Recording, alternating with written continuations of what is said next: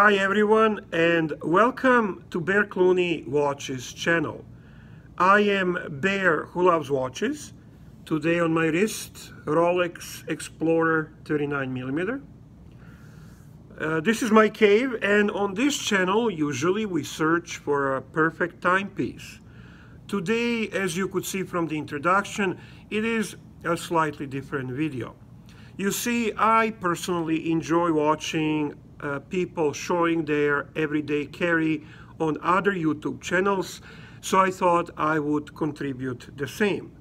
I think EDC, which stands for Everyday Carry, slightly shows what type of individual we are, slightly describes our habits, our personality, just like, let's say, watch collection.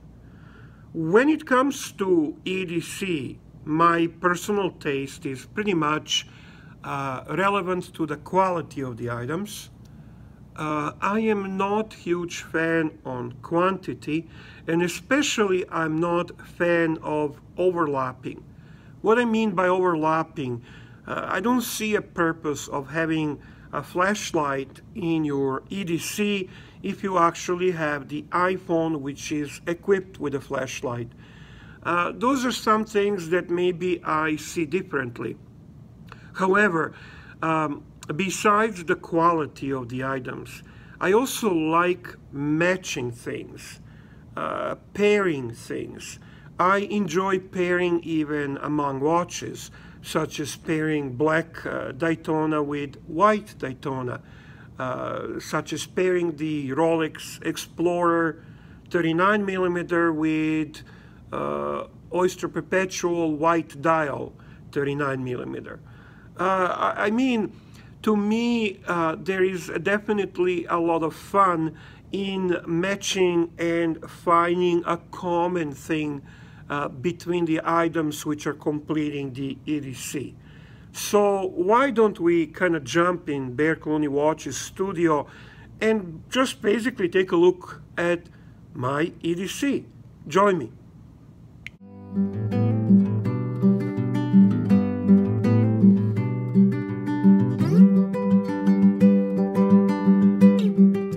And here we are at Bear Clooney Watch's studio with the not usual setup for this, uh, for this environment. We are for the first time looking at uh, Bear Clooney's EDC, Everyday Carry. Now, all the items from, from, this, um, from this EDC uh, are mainly interchangeable, and I will show you some other options that I introduced to my everyday carry. There are certain that are not, uh, and I will mention those, obviously. So why don't I start from the left to right? On the left, we have uh, my choice for sunglasses, which are the Persol. Uh, good quality uh, sunglasses. I love their design. Uh, I love the attention to detail. I love their function. Um, and I also like the fact that they are not necessarily overly, overly expensive. So this would be uh, my number one choice and in the aspect of this EDC uh, sunglasses. Now, they are interchangeable. Um, the other option that I often like to introduce are my aviator uh, vintage uh, sunglasses, which you could see uh, being worn by Don Draper in one of my favorite shows, uh, Mad Men. And this is probably why I love these uh, sunglasses so much. Um, they really wear nicely. They're they're unique. They're high quality, and uh, they bring certain uh, certain pastimes into new world. And the um, third option for my sunglasses is uh, a vintage Ray-Ban. I love their vintage look. Uh, again, I love their quality. I love their function. Uh, I think they're so cool. Um, again, the aviator style is what uh, seems to appeal to me the most. So those would be my um, three three choices. I am also in a process of uh, purchasing the uh, Montblanc sunglasses, uh, which I think will nicely complement my my uh, Montblanc uh, wallet and my Montblanc uh, pen. Um, obviously, the most interchangeable component of this EDC is the watch, but I thought that Rolex Explorer uh, truly looks nice with this EDC, so that was the choice. Uh, or the other one that would also look kind of cool with this would be the OP39 uh, Rolex. Uh, again, very classy and nicely fitting the look of this everyday carry. Most common ring I wear, because most of my watches are uh, stainless steel, is this uh, handmade, uh, made by my friend uh, Varesh, um, who is exceptional jeweler.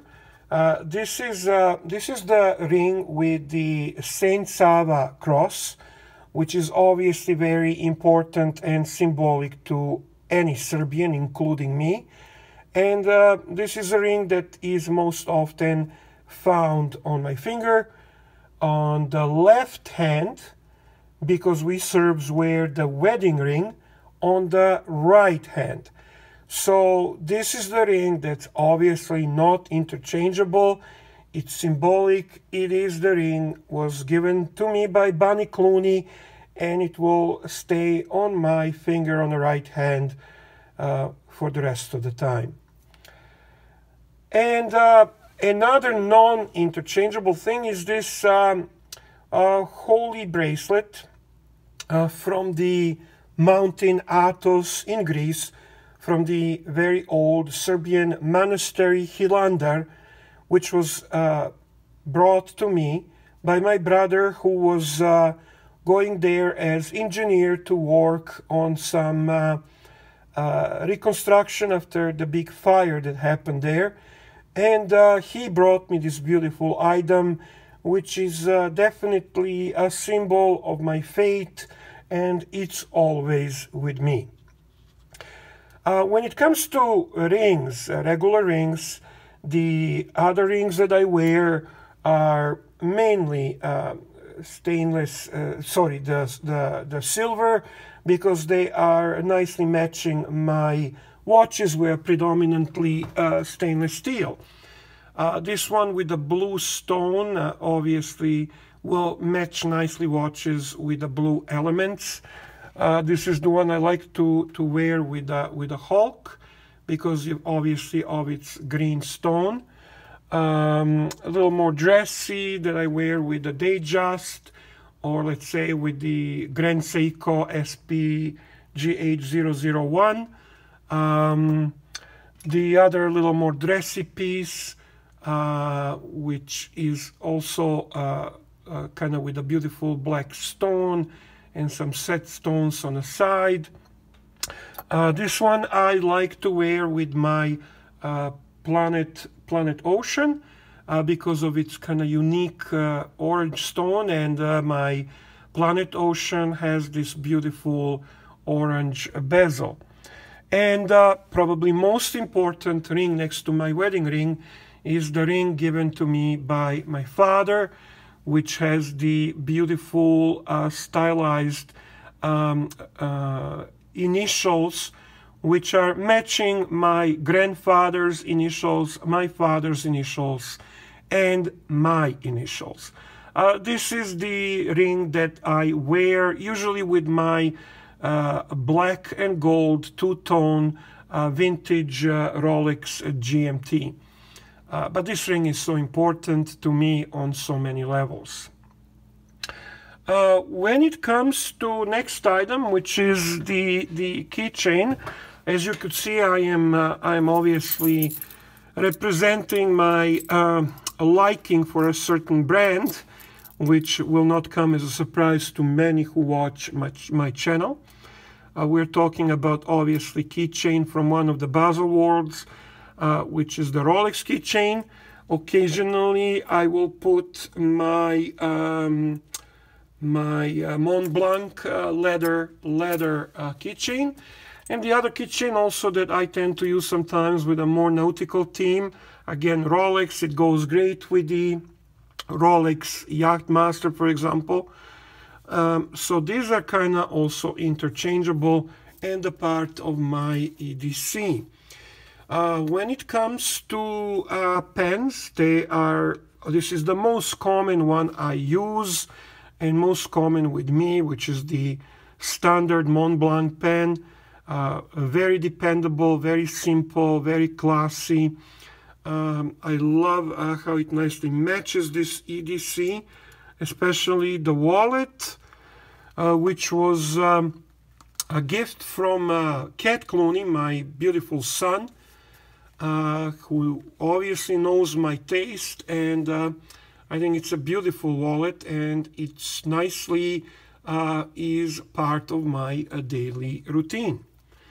Um, the other wallet that occasionally jumps into into this whole scene is the Rolex Rolex wallet, uh, which uh, in this case is not in use, but I don't mind showing it to you because occasionally this beautiful cognac uh, leather looking um, wallet jumps into my uh, EDC and takes the main role. Um, the other items, the other pens that are often in my in my daily routine, for example, this cross cross pen. I love that company. Again, not very expensive. Uh, I love the two-tone look on it, and it nicely matches some of my two-tone watches.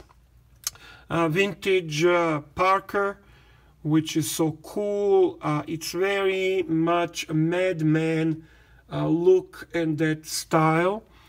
Um, two fanboy pens. I mean, we got this Rolex pen, uh, which doesn't often end in, the, in my uh, daily daily uh, carry-on. Um, the other fan pen, again, a Rolex, a Rolex pen, uh, which I love to pair with my uh, Hulk for obvious reasons. And occasionally when I wear either my um, uh, Strela or my, um, even more, my um, Omega Man on the Moon, Speedy, uh, this uh, Fisher Space Pen uh, represents a nice accessory and nice theme as this was a pen used on Apollo missions and I think it goes so nicely with um, Omega Speedmaster Man on the Moon. And uh, obviously always in my EDC is um, the uh, uh trusty uh, 16 gigabyte uh, memory stick. You never know why you might need it. Um, when it comes to nice, again, those are very interchangeable. This I really like the the style of the Laguiole. I think they're so cool and their quality is exceptional. Um, I like the size on this one too. It's it's uh, it's just perfect size.